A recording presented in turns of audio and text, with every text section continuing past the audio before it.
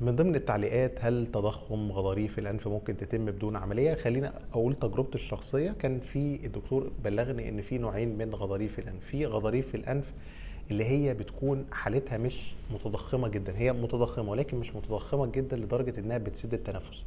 أنا في الحالة بتاعتي لما شاف الغضاريف لقى إنها سد الدنيا خالص فلازم عملية. تمام؟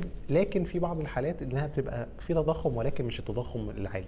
فساعتها بيدي لك لا إما بخاخة في كورتيزون فبتخفف من التضخم ولكن بترجع وهكذا لكن انت ماشية الدنيا معاكي مش مضايقاكي لكن في الحالة اللي الغضاريف بتكون مقفولة خالص ومش قادرة تتنفسها في الحالة بتاعتي كانت مسدودة خالص لا في هذه الحالة لازم العملية.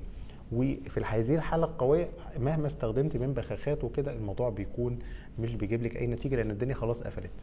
طيب هل ده على طول أدخل أعمل عمليه لا نصيحتي دايما بنقول للناس روحوا للدكتور واثنين وثلاثه قبل قرار العملية عشان تبقى فعلا متأكد إن الدكتور ده مش بيستسهل أو يعني واخدها فلوس وخلاص وعاوز ياخد منها. لا روح لدكتور واثنين وثلاثه يقول لا كله الدنيا كده. ومعايا كمان أشعة على هذه المنطقة بتثبت التضخم العالي ده. يبقى أنا فعليا أتكل على الله وأدخل العملية وألف سلامة مقدما